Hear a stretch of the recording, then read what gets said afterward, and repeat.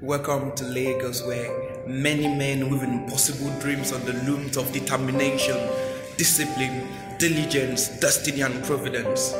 Welcome to Lagos, the wheel of fortune built upon the toil and tears of Nigerian sweat.